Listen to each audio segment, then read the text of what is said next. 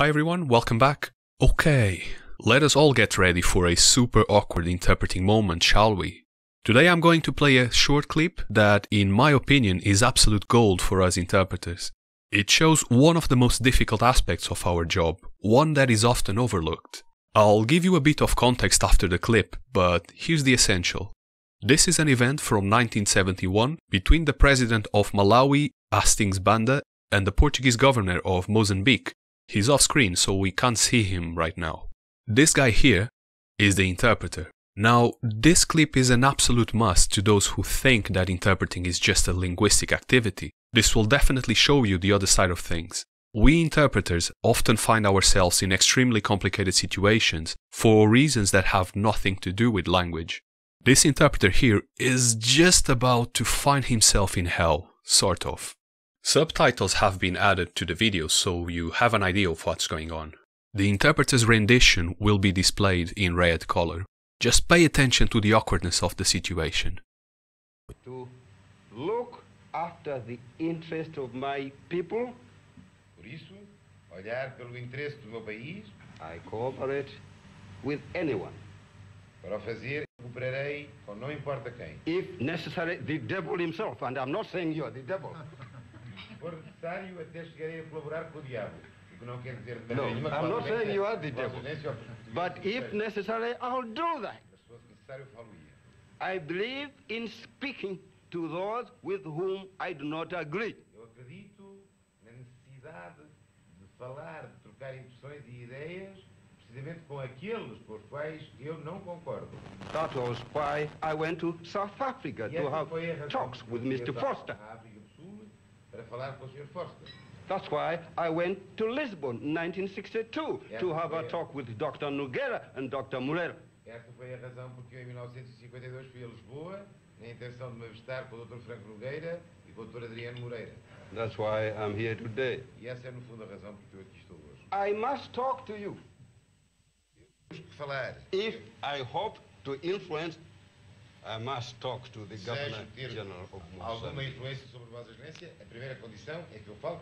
So I can talk to you and say, oh, you colonials, the imperialists. Not shouting at you from Addis Ababa, Mas não dizermos Ah, não. a Addis Abeba aos gritos, from London, ou de Londres, Lagos. no, but right here and say, you are imperials and colonials, right here. I prefer this. Then you can argue to me, say, ah, no, no, no, no, I am not. I said, I say, prove it to me that you are not. This is discuss, contact and discussion. mas é isto que é a própria essência do diálogo.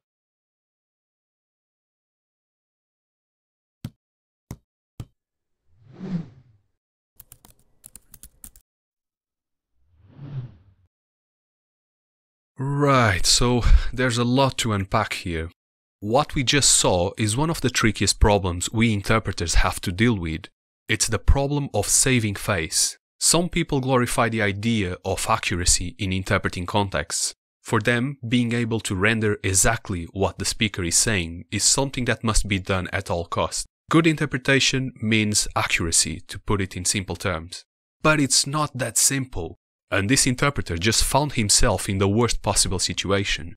This is a high profile event with highly important politicians, and one of the main speakers basically starts insulting the other main speaker. He points the finger at the governor and calls him an imperialist and all that. Oh, you colonials, the imperialists.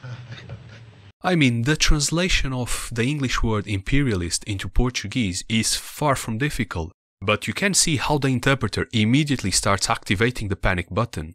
So he decides to go totally silent and fully omits the accusations. But right here and say, you are imperials and colonials, right here. I prefer this. Then you can argue to me, say, ah, no, no, no, no, I am not. I say, I say, prove it to me that you are not. This is discuss, contact and discussion. So the purists will probably say he did the wrong thing. He should have done his job and just translate whatever the president of Malawi was saying. But should he really? This is a prime example of an interpreting trying to save face. Imagine that he actually translated the sentence, you imperialist, you colonialist. There's no way to tell what could have happened. For the Portuguese governor who does not understand English, the insults would be coming out of the interpreter's mouth. Yes, he's just the interpreter, the messenger, if you will. But for all purposes, he would be the person saying the words colonialist and imperialist, not only to the governor, but to the rest of the room, which is full of powerful people. That's a very tough spot to be in no matter what. But here's the worst part Portugal was under a dictatorship at the time. People would go to prison for all sorts of reasons. The interpreter probably doesn't know what may happen to him if he actually renders the words, but I'm sure he prefers not to find out. This comes to prove one important point. Interpreters are not just translation machines rendering content from one language to the other. They are real participants on every assignment. They are responsible for making decisions that have a real impact on the outcome of an event. There's no such thing as an invisible interpreter. That's virtually impossible.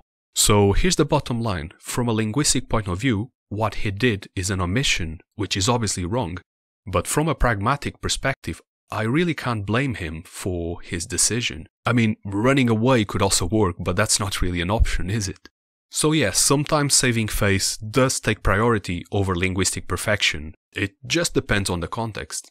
Anyway, what do you guys think? Please let me know your opinion in the comments, and if you already are an interpreter and you have been in a similar situation, feel free to share your experience with all of us. Make sure to also like the video and subscribe to the channel if you're interested in watching more content about translation and interpreting. That's it for today, until next time.